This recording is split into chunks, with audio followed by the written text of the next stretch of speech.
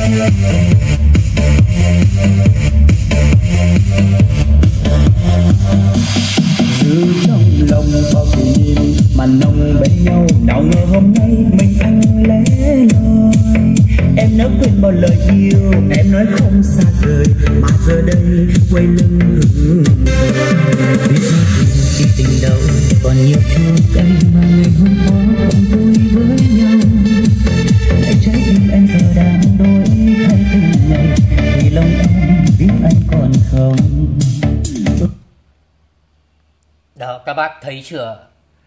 Ờ, một cái thốt giàn mini với công suất tiêu thụ nguồn có 55W Ờ, công suất uh, thực tế đưa ra loa vào tầm 25 đến 30W cho mỗi vế loa ở trở kháng 6 ôm.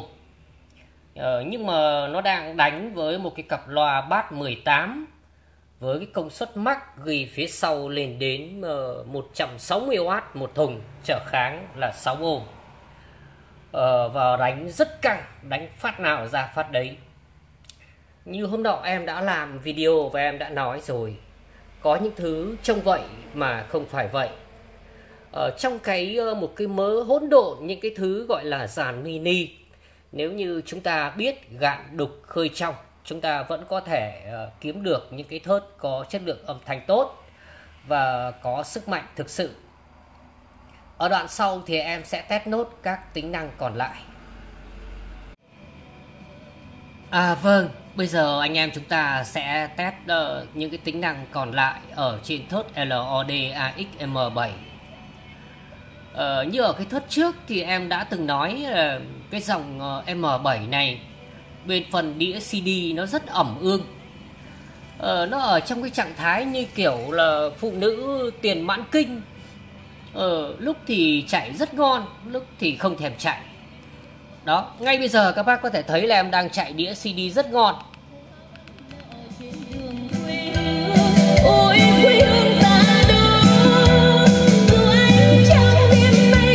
Next bài này.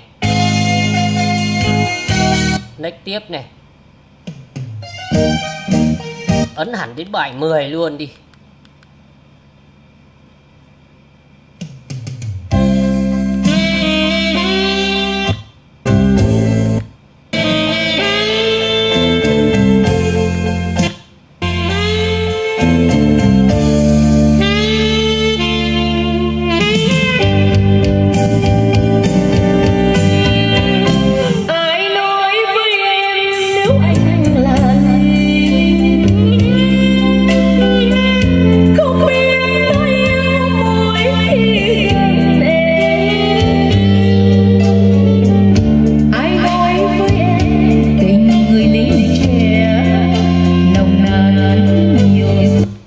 về bài 1 đi. Ha.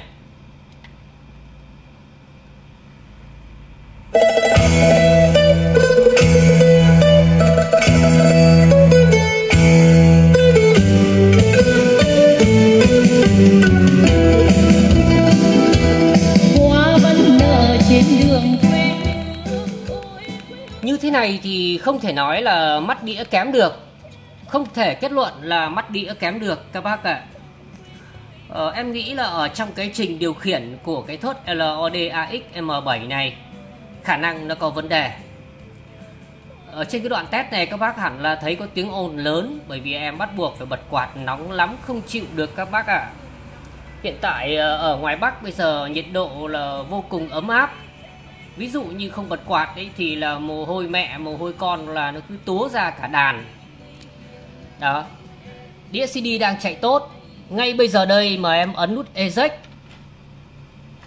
để cho đĩa ra và cho đĩa vào này, rất có thể nó sẽ không đọc nữa. À lại đọc. Tóm lại là nó giống như kiểu phụ nữ tiện tiền mãn kinh, điện nước phập phù. Lúc thì nước tràn chứa, lúc thì không có giọt nước nào. Kiểu như vậy như vậy là chúng ta đã test xong về khoản đĩa CD Tuy là nó chạy nhưng coi như không chạy.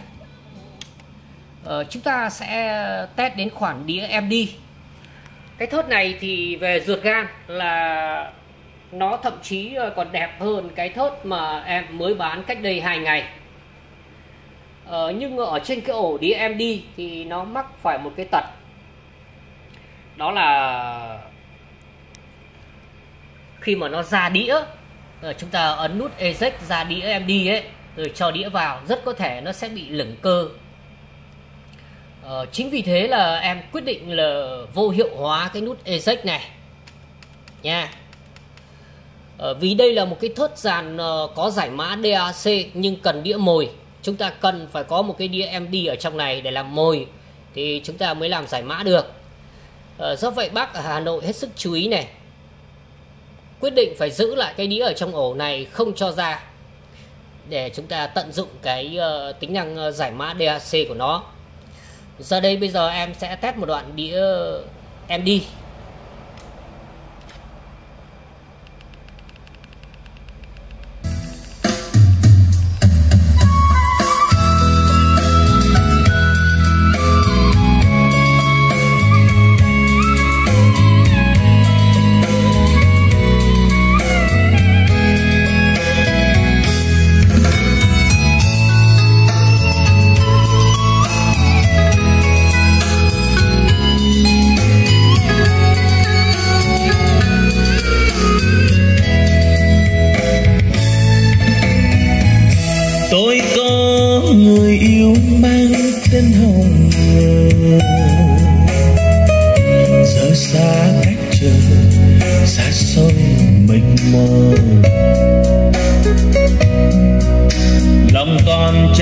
bao nhung nhớ hình dáng của người em thơ.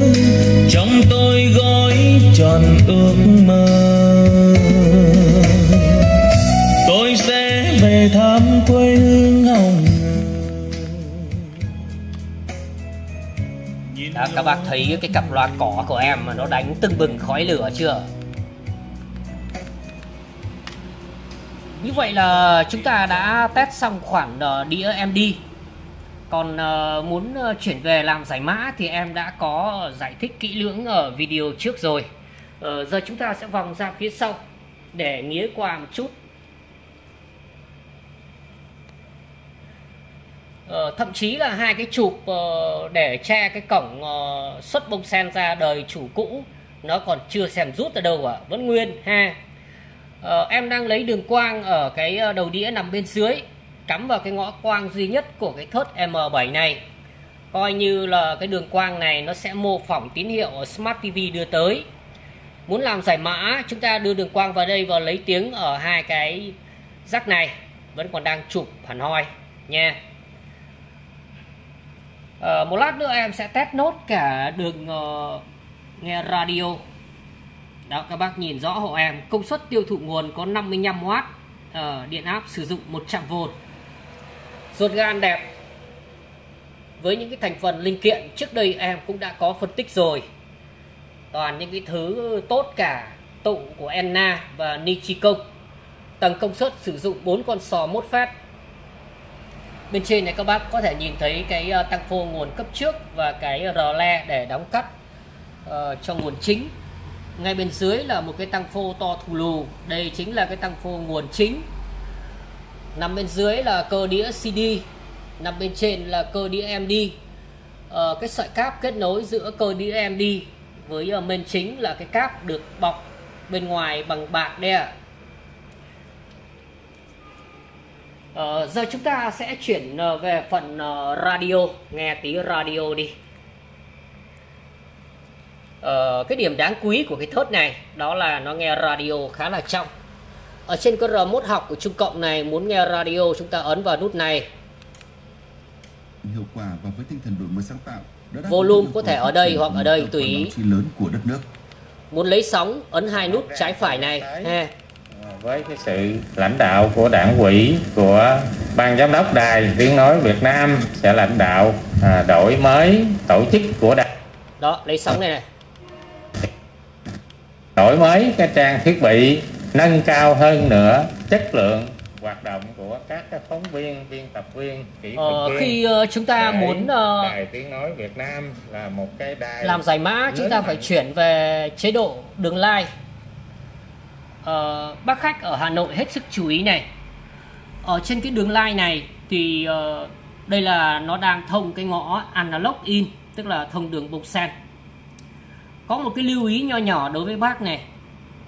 Ờ, trên cái đường line analog in này mặc định nó sẽ uh, hỗ trợ những cái điện thoại có cái âm ờ, xuất ra nhỏ. Những cái điện thoại có âm xuất ra ở cái ờ, lỗ phone nhỏ. Cũng có những cái điện thoại xuất âm ra ở lỗ phone là tương đối lớn. Thế thì uh, chúng ta muốn uh, để nó tự cân bằng hoặc để ở mức lớn nhất thì chúng ta ấn ở trên cái đường line này chúng ta ấn vào. Nó hỏi là analog in đúng rồi. Ờ, chúng ta xoay một cái thì là digital in. Nhưng mà đây này có một cái lưu ý ở analog in chúng ta ấn vào. Nó có cái dòng chữ att off tức là tự động điều chỉnh ờ, ngõ âm thanh đầu vào đi ạ. À. chúng ta để ở on nha. Đó như vậy thì nó sẽ tự động cân bằng cái ờ, đường tiếng ờ, đường bông sen đầu vào. Còn ờ, khi muốn sử dụng đường quang thì chúng ta sẽ ấn vào cái nút bút này và xoay đến chữ digital in và ấn bút enter một phát. Thì nó sẽ hiện chữ digital in ở đây. Mà muốn làm giải mã thì bắt buộc chúng ta phải ấn nút rec ở bên phần DMD ấn vào đây một lần thì ờ, cái biểu tượng đĩa MD nó sẽ nháy như thế này. Nó chưa ghi vào đĩa đâu ạ. À. đây chính là cái trạng thái gọi là ờ, uh, false tạm dừng. Như vậy là chúng ta làm uh, giải mã vô tư rồi. Em uh, mở một bài.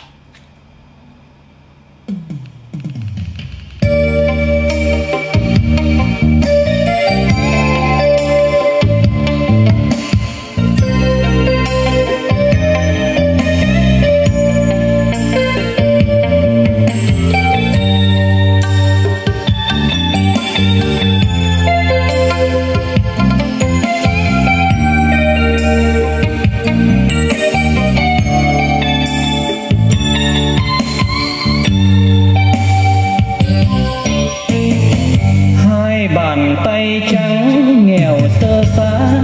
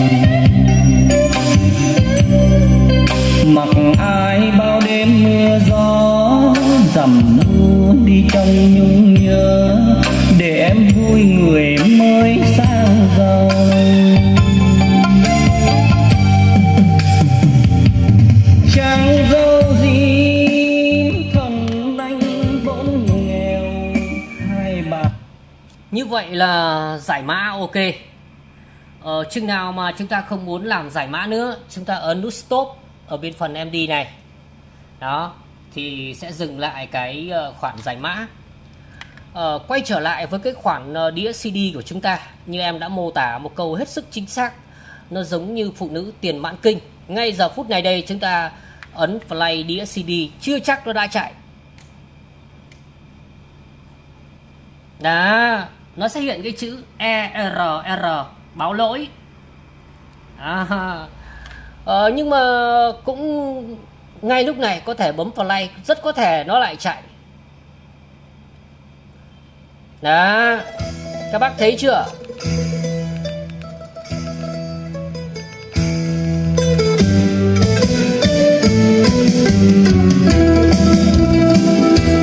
Qua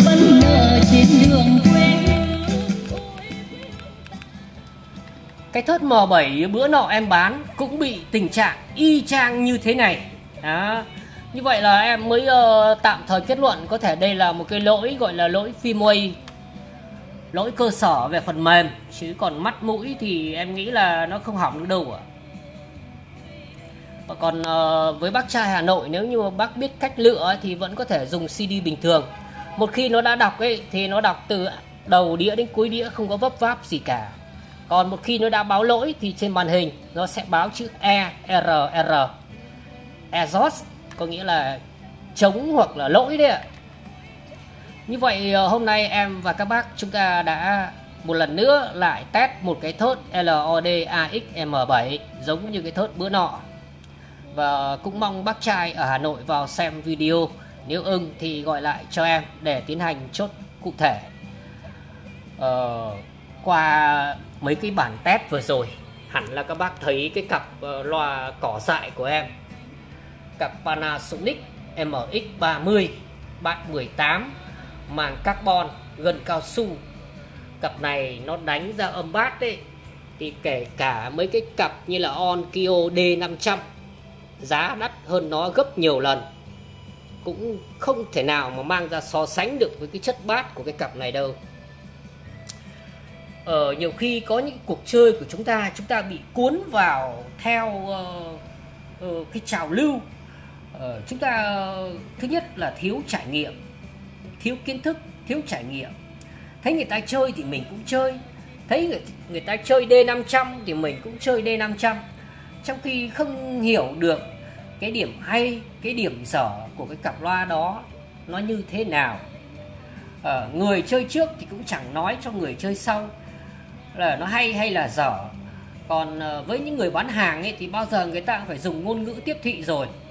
Câu cửa mồm người ta là loa cực kỳ hay, là loa cực kỳ chất rồi. Đó, mua về thì mới biết. Cũng cái kiểu như là cái thốt LOD AX M7 này cũng vậy. Nó là một cái sản phẩm mà như trong giới giang hồ người ta gọi là no name, vô danh. Nhưng mà khi mà được trải nghiệm thực tế thì chúng ta lại thấy nó là một sản phẩm tốt đó cái quan trọng là phải có sự va chạm cái quan trọng là chúng ta phải có sự trải nghiệm trước khi uh, đánh giá hoặc là review một sản phẩm nào đấy Ờ, vâng, em xin phép dừng video tại đây. Xin cảm ơn tất cả các bác đã dành thời gian cho video này.